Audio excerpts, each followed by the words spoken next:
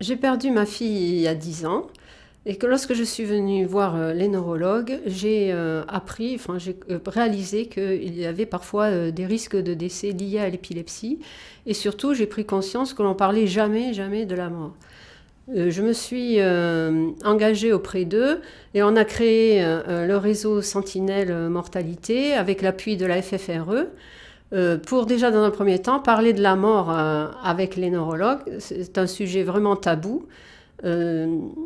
Après, nous avons créé un, réseau des, familles pour l'écoute des familles, qu'elles puissent créer des liens après le, décès de leurs proches, euh, pour communiquer aussi sur les avancées de la recherche, parce qu'en dix ans, ça a quand même beaucoup évolué. donc, pour que les personnes puissent avoir nos coordonnées, avoir un petit lien chez elles, on a créé aussi un livre que vous pouvez retrouver sur le site de la FFRE.